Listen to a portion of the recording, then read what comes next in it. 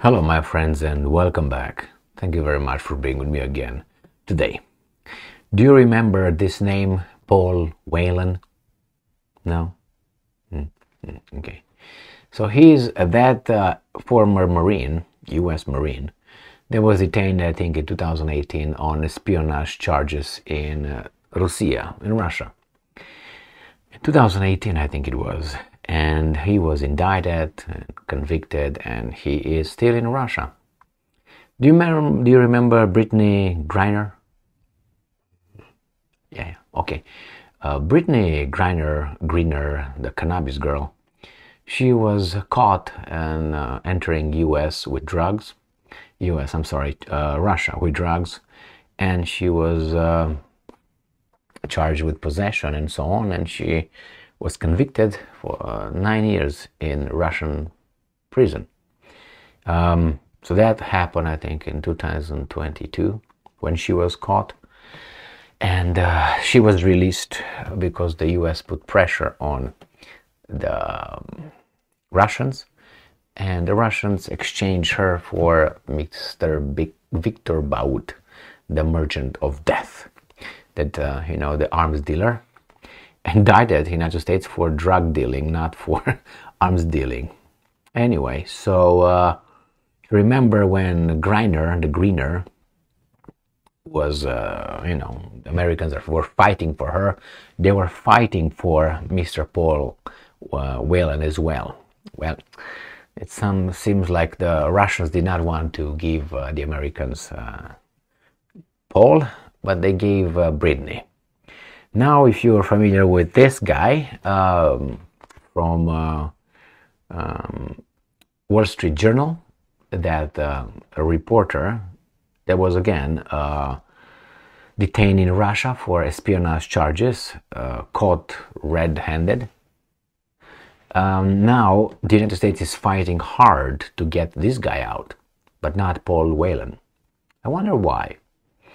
I always like to uh, uh, read people's biographies because sometimes you can, you know, have a hint or maybe you learn certain things. Always is good because I'm interested in uh, reading, uh, especially people's early life, which is usually uh, listed on Wikipedia. In this case, let me show you how uh, strongly the United States uh, uh, Secretary of State, in this case, we just have an advisor, fight for Mr. Gerkovich, Jerkovich, Garkovich, Jerkovich to be released from um, Russia. So, very strange, they fight only for some and they leave others over there. They make you uh, feel like a real American. So, this comes from uh, The Hill. Biden advisor says US is pressing for the release of reporter who has spent 100 days in Russian jail. Today is what? Uh, 7th of July 2023. A weasel right here. White House National Security Advisor Jake Sullivan on Friday said the US has been in contact with Russian officials to press for the release of Wall Street Journal reporter Ivan Gerkovich, Gerskovich, as Friday marked the 100th day of the journalist being detained by the Russian government. So, all right, so it seems like uh, they're fighting hard for Gerkovich's family. He, Sullivan also spoke with Gerkovich's family. They speak with Whelan's family, uh, and uh, why not?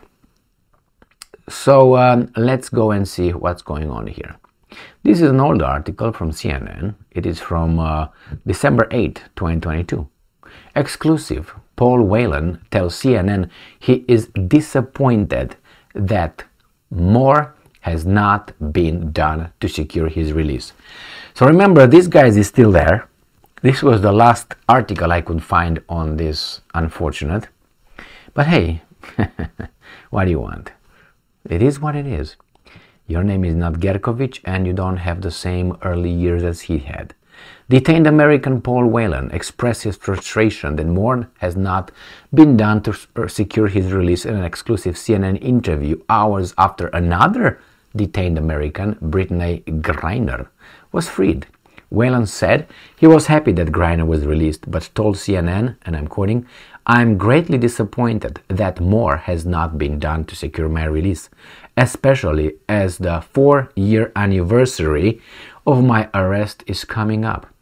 I was arrested for a crime that never occurred, he said in a phone call from the penal colony where he is being held in a remote part of Russia. And I'm quoting, I don't understand why I still I'm still sitting here. Well, because you're Whelan, that's why. So remember, Gerkovich right there. Let's see who's this Gerkovich. As I promised that I would go in early life and education. I like all that. Gerkovich parents, Ella and Mikhail Gershkovich, separately fled the Soviet Union during a period of, period of mass emigration, which never happened. but ask older people who uh, lived in Soviet Union how that occurred. In the wake of rumors that Jews were about to be exiled to Siberia, ending up in the United States, ending up in 79, and eventually in New York, where they met. The couple moved to Princeton to okay. So it seems like uh, he is Jewish because they fled because rumors that the Jews were about to exile were about to exile to Siberia. So it's not crazy to infer that uh, Ella and Mikhail and then even Evan are you know they left Russia because they were Jews and they were afraid they will be exiled to Siberia, according to this. And um, okay, not anyone uh, said mass emigration. It was a certain kind of immigration. Look what's over there. The 1970s Soviet Union Aliyah was the mass migration of Soviet Jews to Israel after the Soviet Union lifted its ban on Jewish refusenik emigration in 1971. More than 150,000 Soviet Jews immigrated during this period. Good for them. How about we do this? All right. All right, so uh, one immigrated period mo motivated ver by various by religious and ideological aspiration. Pa, pa, pa. Very good, very good. So some of them emigrated over there, some were, them, some of them emigrated on the other side. So not they are not. The, the point is this. Maybe you can answer this question. I know the answer, but I can say it. It's YouTube. All right.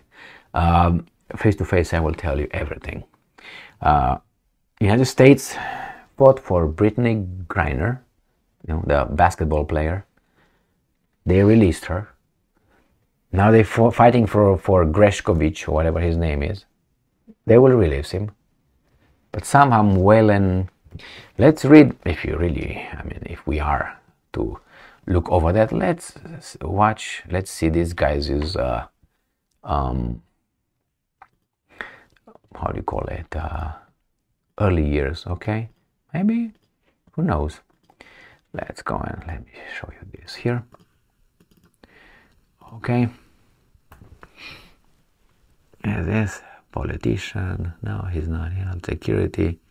That's not even don't have don't even have him over here in this in wikipedia. Hmm. but let's see maybe i find it somewhere else. And voila Paul Whelan, Security Director. So he is a Canadian born, former United States Marine with US, British, Irish, and Canadian citizenship. He was arrested in Russia. Early life.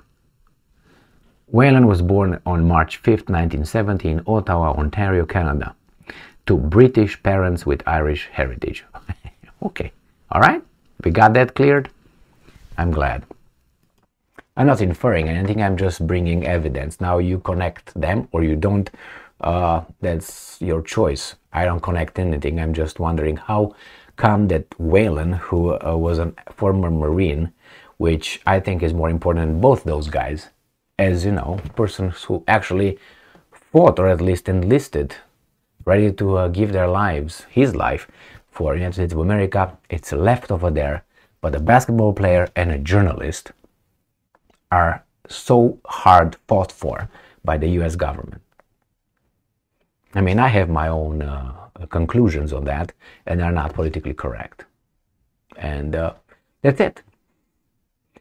And I told you when it was about the grinder, the grinder, and Whelan, I said they just put Whelan over there with the grinder, So it doesn't too, seem too obvious that uh, you know they're fighting only for one. The other one is just over there as uh, see. It's not only for that. They didn't even care about these guys, and they blame the Russians like the Russians would not cooperate. What would they cooperate with the other guy, Gren- Grenchovic, with the same with the G somehow. Green, Griner, and Grenkovic, and this is W. Mm-hmm, gotta wait. You're at the end of the alphabet, it seems like, and uh, the same um, accusations, right, of espionage. They're fighting for this guy, but not for that guy. you gotta love to be American of a certain kind. Thank you very much for being with me again today. Stay strong, stay smart, look for the truth, and be just.